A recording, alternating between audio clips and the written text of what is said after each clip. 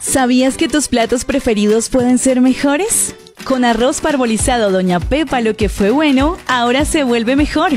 Porque el arroz Doña Pepa es parbolizado. Eso quiere decir que Doña Pepa no es blanco, no es integral, es parbolizado.